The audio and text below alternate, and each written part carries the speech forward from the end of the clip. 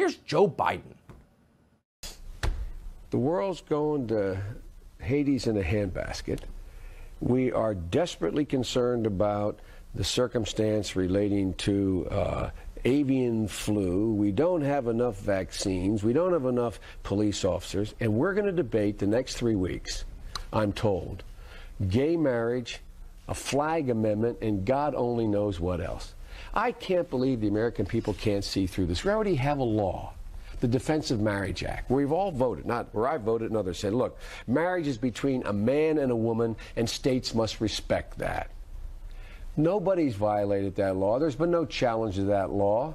Why do we need a constitutional amendment? Marriage is between a man and a woman. so he gets a pass because that was pre dementia. He has no memory of saying any of that. Now he's just a vessel for the ambitions of others.